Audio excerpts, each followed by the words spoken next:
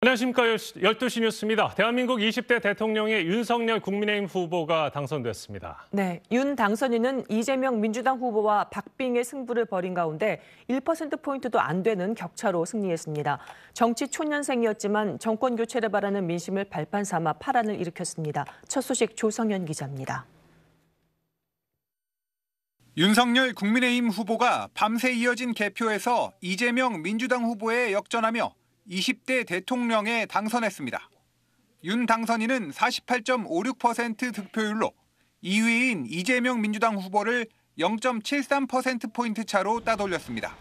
이 후보와의 표차는 24만여 표로 집계됐습니다. 현 정부 검찰총장 출신인 윤 당선인은 정치 입문 후 불과 9개월 만에 첫 대선 도전에서 승리했습니다. 윤 당선인은 개표 막바지까지 자택에 머무르다 당선 확실 보도가 나온 뒤에 국민의힘 개표 상황실을 찾아 승리를 선언했습니다. 뜨거운 그 아주 열정적인 그런 그 레이스였던 것 같습니다. 아, 이 과정을 통해서 많은 것을 느끼고 배웠고 위대한 국민의 승리가 아닌가 그렇게 생각을 합니다. 중앙선관위도 윤 후보를 대통령 당선인으로 공식 확정하고 대리인에게 당선증을 교부했습니다.